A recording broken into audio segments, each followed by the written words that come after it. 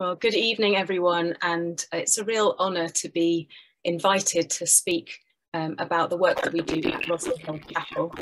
I'm going to spend some time uh, speaking a little bit about my background and my vision for my spiritual community, um, and give a few tips about morning services, and then move on to the other things that we do uh, monthly Sunday evening groups, online courses, Sunday afternoon workshops, uh, community outreach, interfaith work, life events, and finish up with a little more advice at the end. I want to start by saying my, my watchword, my key phrase is progress, not perfection. Um, only God is perfect, uh, but we've got to um, give things a go and, and see um, see if we can um, experiment a little sometimes. So I encourage you to stretch yourself um, and, and try a few new things. Also, I should say that um, I recognise that ours is a, one of the larger congregations in our Unitarian movement, um, and I'm building on what was already established. Uh, before I became the minister here, uh, there was always a morning and evening service, there were various other activities, um, and we are blessed with a, um, a number of uh, active volunteers and, uh, um, and some other staff. So I recognise that um, our situation can be quite different to some of the other um, smaller Unitarian congregations. And also what works for us isn't necessarily going to uh, suit everyone, uh, but I'm just offering these as ideas for inspiration. Everyone has been impacted by the pandemic. And for me personally, um, I was just coming back from maternity leave. Uh, my baby son was four months old as I was starting some part time work. Um, my first weekend um, back was uh, leading a service, a memorial service, and um, an AGM, and then straight into lockdown. So it was quite a shock to the system in many different ways. But we went directly online um, and uh, and now the chapel has its own YouTube channel um, and we stream our morning services each week as well as being in person. So I thought I would give a little of my uh, my Unitarian origin story. I know some of you will have heard this, but uh, just for the record, um, I came from a very non-religious background, growing up in a village in Somerset. Uh, I went to a Church of England primary school uh, but also surrounded by a lot of um, new age practices, being quite close to Glastonbury, um, some pagan rituals, so quite comfortable with that side of things. Um, uh, when I wasn't christened, my mum want, wanted me to choose my own religion. Uh, so when I was 10, I thought, well, I ought to choose choose a religion. I did a little bit of DIY research at the library, as you do when you're 10. Um, quite liked Hinduism, settled on Buddhism, and became a vegetarian. Decades ago, back when um, being a vegetarian meant that you couldn't buy shop bought biscuits because they had animal fat in them, all of them. And I just got sick of people saying to me, oh, you can't eat those biscuits if you're a Buddhist. Um, and so I'm afraid I had to make the decision between biscuits and Buddhism. And aged 11 by then, um, the biscuits won out. So I then carried on with my studies. I uh, ended up with a, a degree in three-dimensional design, product design. My first job was with a toy company and then eventually moved into the third sector, um, working with various charities, but still doing some creative work on the side um, and I was attending a friend's um, very Christian wedding, a wonderful, joyful occasion. Um, and I, um, I loved that sense of community, but I knew that that particular signing up to one particular theology was not right for me. And I was working in Hampstead at the time, and a work colleague suggested that I go to that Unitarian chapel up the road, try that one. Uh, she said a friend um, tried it and said they were very friendly, but it was not quite Christian enough for her. And I thought, hmm, that sounds intriguing. And when I went, uh, it was Palm Sunday, the choir was singing, uh, the minister spoke about Jesus being a great leader and a great teacher, but not necessarily the Son of God, unless we are all sons and daughters of God, the God of our understanding. And that just struck a chord with me. My mother and my grandmother always spoke about Jesus being a great example of a human being. Um, so I am probably one of those people who, who was Unitarian my whole life, uh, but didn't know that that's what it was called. Um, I became very involved with the community and started to lead services. Um, and eventually I was persuaded to apply for ministry training. So I went off to Oxford and also um, did an, a master's degree in Abrahamic religions at a London college. Um, and then I was minister for Lewisham Unitarians um, and then eventually came back to Rosslyn Hill Chapel to be their settled minister um, nearly six years ago now. So my uh, my vision for my spiritual community, I suppose, is um, encapsulated in the way that we describe Rosslyn Hill Chapel being a spiritual home for open minds, and that it's a place for people to explore their spiritual path. Um, you might say with like-minded people, but there are plenty of, of differing views here, um, but with people who are going to respect those differences. And this goes beyond our morning, our Sunday morning services to all of the different events. Um, so I am actually going to speak briefly about Sunday mornings, just a few tips um, before I go on to other things. Uh, I mentioned my master's degree. I did a dissertation on funeral practices in Christianity and Judaism and how they've changed over the years. And while I won't bore you with all of the details, um, my final conclusion is that modern funerals, and I would then extend this to any um, spiritual ceremonies, should have something personal and something familiar. So, something that people are going to be able to take away with them and reflect on and apply in their personal life, but also something familiar. So, in the context of um, funerals, that might be that they want to have all things bright and beautiful, or they want to have um, the Lord's Prayer said, even if they are not themselves particularly religious. So I would suggest that if you're conducting a, a, a Sunday morning service or, or, any kind of ceremony, to just have that in mind. And I try to do that when I'm creating worship services. Also, a chance to get the congregation involved in the service. We do this traditionally by suggesting that people give readings, but there are other ways to do it. Um, we have a greeting quite early on in our service uh, where you turn to someone near you, you say your, your name and welcome them to chapel. Um, and this means that if they don't speak to anyone else, if they scuttle out after the service, at least they've spoken to one person.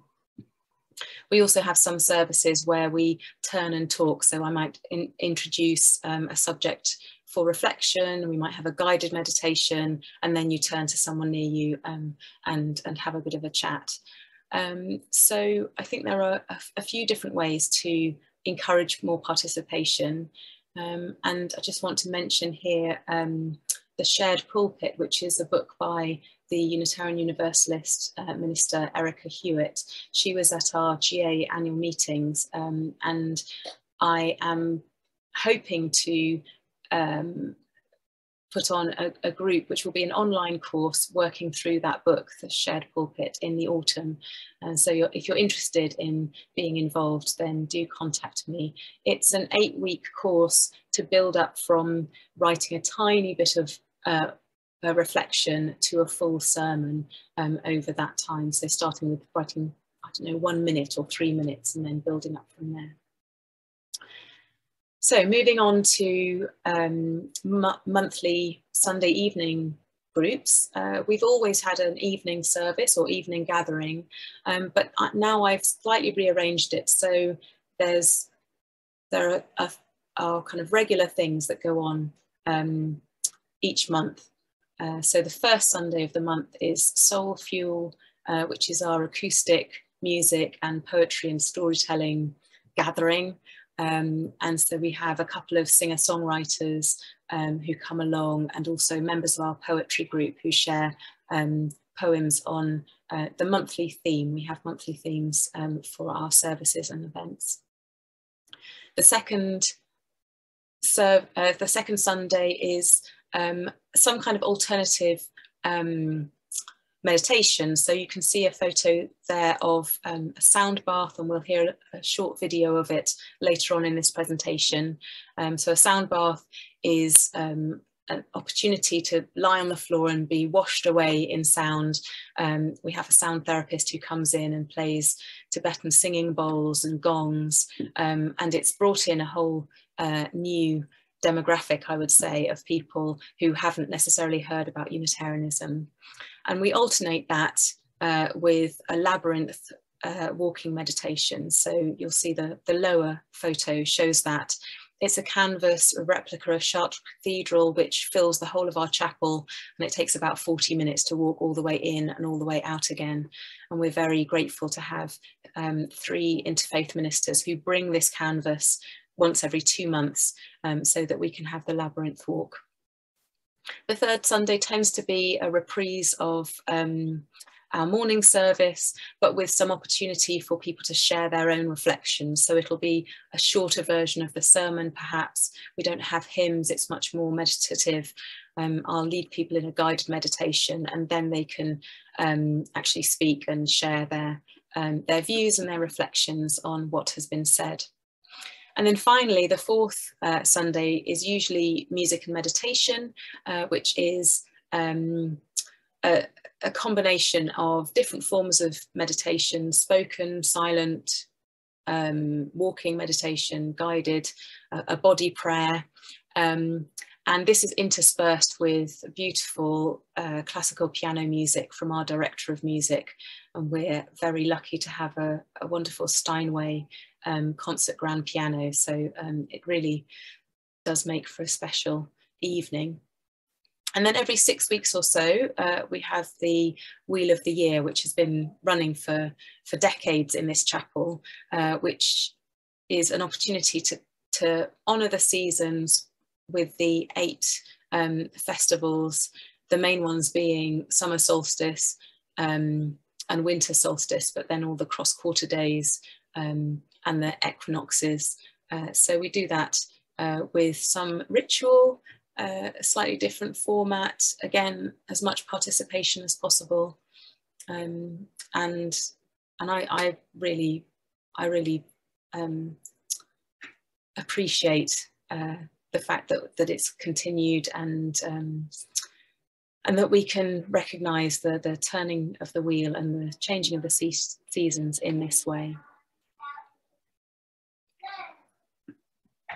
Then on to um, our spiritual development courses and our workshops.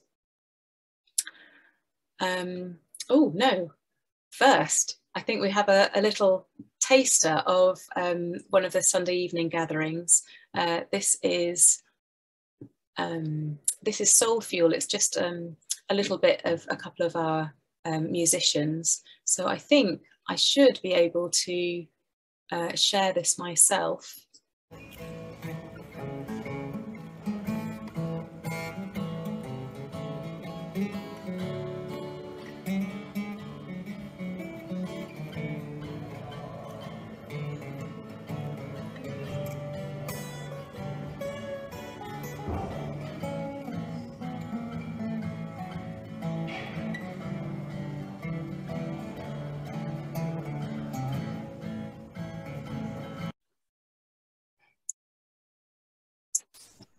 So we'll go on to the um, spiritual development courses and mm-hmm. workshops. So this really started, uh, the online element started during lockdown and um, throughout the pandemic. I've been putting on spiritual development courses of various types um, uh, for the last few years, uh, usually six to eight weeks on a Tuesday evening, for example, in the chapel, um, either working through a book or um, doing Soul, um, Soul Deep, which is my own uh, creation, kind of engagement group. Um, and then when we went online, I realised that uh, there was a great need for connection beyond uh, the Sunday service. And we weren't doing evening services at that point as well. And actually, it worked so well on Zoom uh, that we've continued with that uh, practice of having spiritual development courses online and then to balance that because it's so important for people to come together physically as well. Uh, we have uh, monthly in-person workshops on a Sunday afternoon. So the online uh, the online courses, again, very convenient for people to be in their cosy living rooms rather than in a drafty chapel um, on a November Tuesday evening. Um, I mentioned Soul Deep. Uh, we also have worked through various books such as The, Li the Listening Path by the um, creative creativity guru uh, Julia Cameron. Also, Me and White Supremacy by Layla Saad, which I thoroughly recommend. Very challenging um, book, but definitely worth um, doing um, and possibly in a group. Um, and then most recently, during the Lent period, we had Hearing God in Poetry, an anthology of poems which was compiled by Richard Harries and has a short kind of commentary as well as the poem uh, that really struck a chord with people. In future, we hope to have more of our Soul Deep um, groups, and as I mentioned, The Shared Pulpit by Erika Hewitt, um, working through that book in the autumn. The Sunday afternoon workshops have been all kinds of different subjects. Um, I did one on spiritual spiritual creative writing, which I'm going to reprise at the London District uh, quarterly meeting. If you're um, going to be coming to that uh, later on in the autumn. Um, that will be at the chapel. And I've also got a kind of session plan. If you'd like to run this as a two hour workshop in your congregation, please contact me. Uh, it's a series of very short, simple writing exercises, and then people can share um, however much they feel comfortable with in smaller groups. And it really uh, did have some great positive feedback. We also did a workshop on family history and bringing that to life. I did that with a cultural historian and most recently an educational psychologist came to speak to us about positive psychology and learning from our past stories and life experience to give us strength and build resilience in the future. And in September, we'll have someone coming to speak to us on conflict management. So that's uh, coming up in the autumn. Then on to community outreach. There are a few different ways that we do this. Um, I just wanted to highlight a, a couple of them. Death Cafe, you may have come across, has been a movement for many years, uh, usually in secular settings. And during lockdown, many of the Death Cafes either um, closed completely or they went online, and not many of them have come back to being in person it's an opportunity for people to come together and speak about end of life matters over tea and cake. So trying to take the taboo out of talking about death. And we found that there's been a really great need and a great response uh, when we put them on. Originally, I put it on, I used to just do them once a year around October time. And when I did it last October, everyone was like, when is the next one? So um, some volunteers came forward to help me run it monthly. So we do it on the last Sunday of the month now. We also are uh, reconnecting with Channing School in Highgate, uh, which was originally established to educate the daughters of Unitarian ministers and so, so still has a very strong Unitarian ethos. Um, and the picture, the, um, the lower picture with the two hands is a design for um, a prize plate uh, because we introduced the Rosslyn Hill Chapel Award last year uh, to honour those girls in the junior school and the, and the senior school who had demonstrated Unitarian values of open minds, loving hearts, helping hands. Um, and that plate design was the winning one um, from a design competition and ha now has been made into a plate that is presented to the winner of the, um, of the junior award. And then finally, uh, the Saturday Club for toddlers. Um, this is, was again born out of my, um, my noticing a need, uh, specifically the need for um, something on the weekends for uh, families with young children, I noticed all of the baby classes seem to be during the week. So those people who work during the week, um, not just dads, working parents in general um, didn't have many opportunities to meet other parents and to see their children interact with children of the same age. And so I started that on the first Saturday of the month. Um, and I should say I have my own toddler, so um, it wasn't just completely altruistic. Um, I was, uh, I, I, I saw that need and I felt that need myself. So this is the Saturday Club, the first uh, Saturday of the month, and we hopefully you can see in that photo we have a circle of chairs with some um, baby mats in the middle and uh, some toys. It's really free form play, so uh, we don't we're not sort of very strict about what they do. Uh, then we go on to um, offering them some healthy snacks in our side aisle and offering tea and coffee to the parents.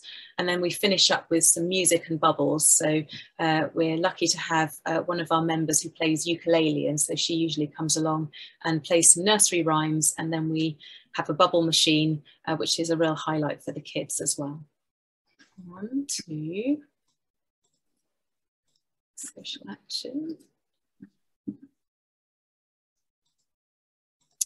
Yes, we've um, we've had a um, we've been involved with the cold weather shelter, which is a, um, a project, a network of, of churches and chapels in our um, in our lo local area for over 10 years now. Um, and uh, we, we set up this um, temporary shelter on a Friday night uh, sitting down, preparing dinner and eating with the guests. Um, and then they stay overnight uh, with a couple of our volunteers. And then in the morning, more volunteers come in and prepare breakfast. During the pandemic, that model was not um, possible. And so the guests were staying in a, a low cost hotel, a kind of more of a hostel um, situation. But it, um, it isn't sustainable to do it in that way. Um, and so we've just heard that we'll be going back to the previous model um, of, um, of offering the cold weather shelter on a Friday. Uh, it, it is quite um, a big commitment for us, but we are happy to do it and we'll be um, over the next couple of months um, organising ourselves, reorganising ourselves uh, to offer that again beginning in November. We also have a monthly good cause uh, so we divide our collection plate between the upkeep of the chapel and um, our a chosen charity, and we try to cycle through and vary between having a local, a national, and an international charity. And in past years, we've also invited someone from that charity to come and speak to us um, to just kind of um, give a, a, better picture of, of um, the work that they're doing. Another part of our social action is um, our commitment to Black Lives Matter and to raising up the voices of the of people of colour and one aspect of that is celebrating black lives. So in our notice board we have uh, proudly displayed we believe black lives matter. And then each month we highlight a different significant person um, who um, just as a as a with a short bio, biography um, and a photo to try and redress the historic imbalance of um, representation.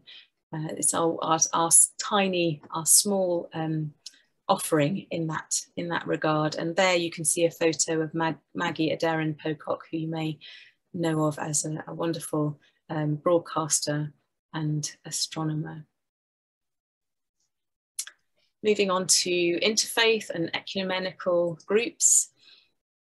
Uh, so we're part of Churches Together in Hampstead. You may know that we're not necessarily welcome as churches together in Great Britain, um, but at the local level, we're very much part of that group. Um, and we do things like hosting the all-weather picnic, um, which brings together the different churches in the area. We've also had a couple of fundraisers, a quiz um, the last couple of years. I think we had one last year. Um, and the photo you can see there is a wonderful family ceilidh uh, that was put on a couple of weeks ago, raising money for um, a, a local neighbourhood charity called The Winch, which was great fun and also uh, raised a good amount of money. I'm also involved with the Faith Leaders Forum, which is organised by the local borough council. And it's really um, an opportunity for the for the council to let us know information that's relevant to us as, as religious leaders and also to get our feedback on various issues. Then I've put, I put life events and pastoral care together. You won't be surprised that I'm mentioning pastoral care because it's very much a part of um, a part of a minister's role.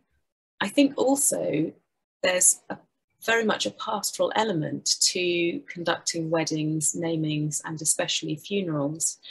And I'm reminded of my colleague Danny Crosby's words that we as ministers are a guest in other people's lives.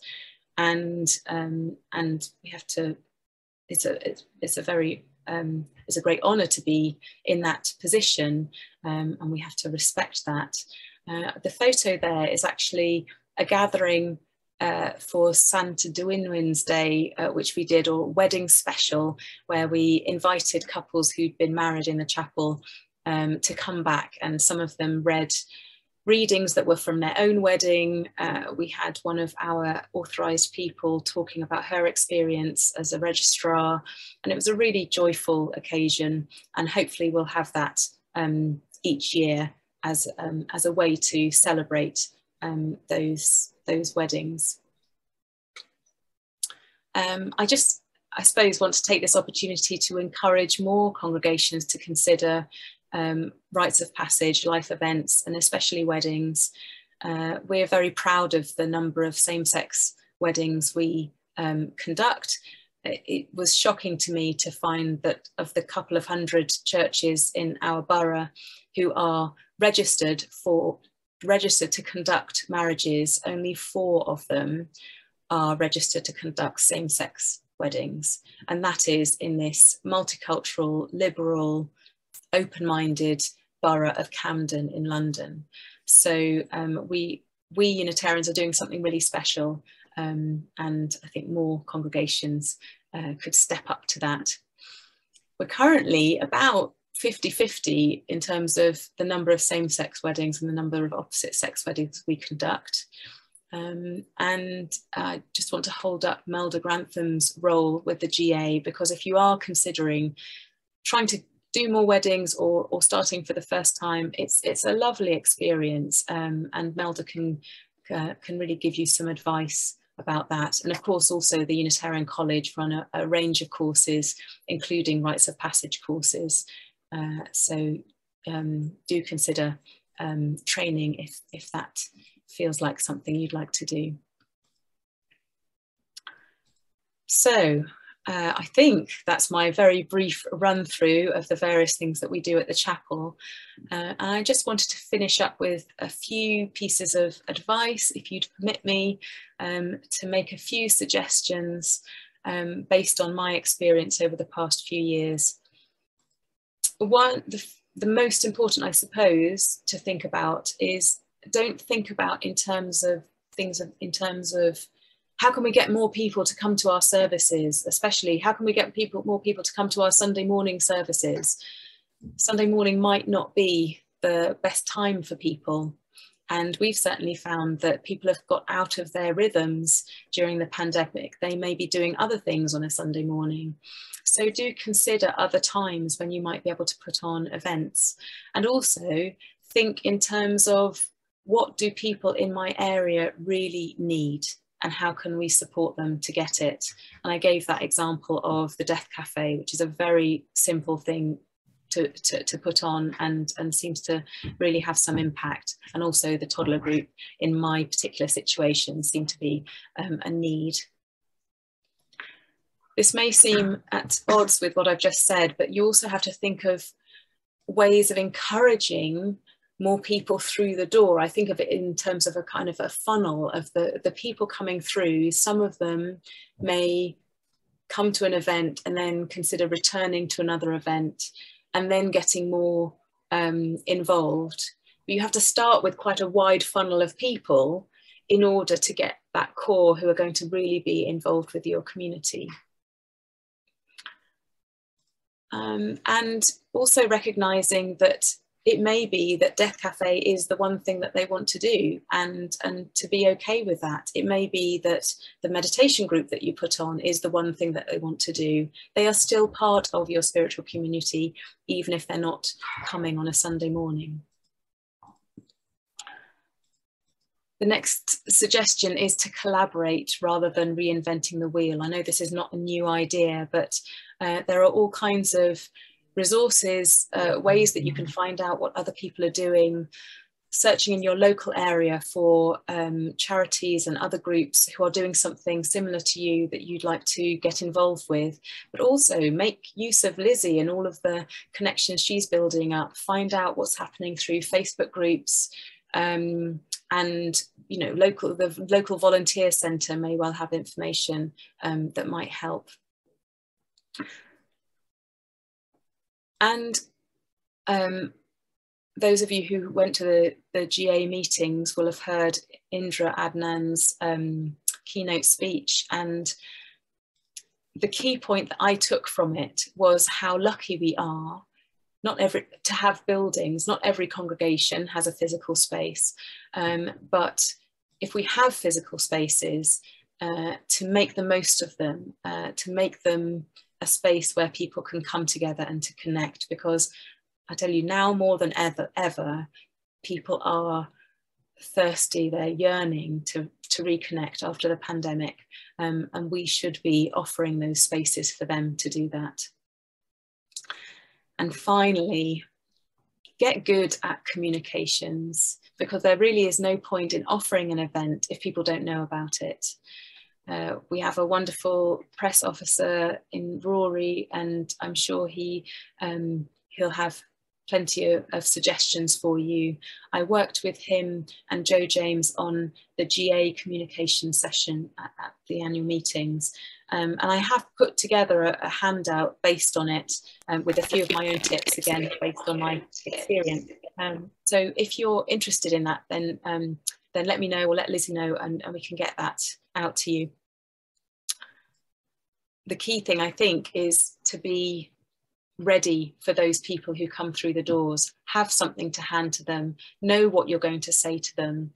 Uh, we are very lucky to be in a in a position where there, we, we have a lot of footfall, lots of people passing by. If our doors are open, people wandering in, um, if I'm there or someone else who's sensible is there, we'll talk to them about um, what's a Unitarian. Um, and quite often they are visitors, they're tourists to the area, and they live in another part of the country or another part of London. And I'd love to know that when I encourage them to visit their local congregation wherever they live, that you are ready for them uh, when they come through your doors. So that's pretty much all I have to say. I just wanted to end with a short video of the sound bath to let those words settle.